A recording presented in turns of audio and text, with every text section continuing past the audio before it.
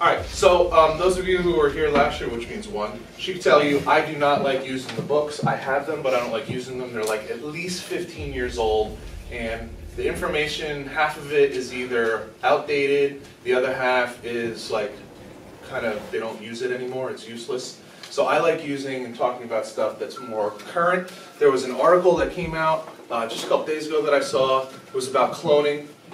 Cloning itself is not new. We've been able to clone for about 25 years. There was a sheep that was cloned 25 years ago. Anybody remember the name? Somebody remember last We week? just saw Dolly. it. We just saw it. Dolly. Yeah. Right, so Dolly was a sheep that was cloned 25 years ago, 1996, almost 25 years ago. And um, so we've been able to clone animals, and the one thing we have not cloned are people. And there's ethical reasons for that. It's really the only reason that we haven't cloned people is because of the ethics that are involved. So what do I mean by that? So let's say Miss Bennett um, gets kidney disease, right? And her kidneys are failing, and she needs new kidneys. If we cloned her, we could literally get a perfect match for her kidneys. So then we would technically be able to take the kidneys out of this clone and replace her bad kidneys with new, fresh, healthy kidneys, right? The question being, is that clone a person?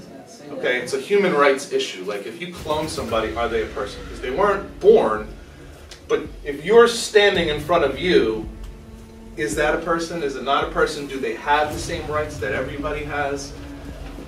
Eh, it's like a funky area, so that's where they're like not sure. But of course, the Chinese don't care about human rights, so they have been working on cloning. We know this. We don't know exactly where. We just know that they have, right?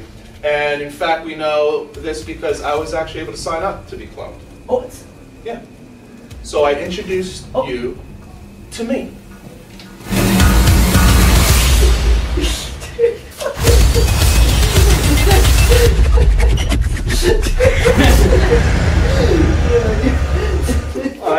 Myself and I have designed a game. And, uh, see, my, myself wants a new clone. Besides me, so this way he can have access parts. And, uh, so basically I'm going to give you guys this one hint, and there's five other hints, and that will lead you to a key. If you don't get out of here, you're just going to be a clone. Yeah. So work Together together, as a team. work, work together as a team and try to fo- been in there for? a Long time. follow follow your clues. He keeps them in the basement. All right, so work work to, work together, follow your clues, and they'll take you around so you can get the key and get out of here. Else you're locked in here and you'll be cloned, and we'll get rid of you.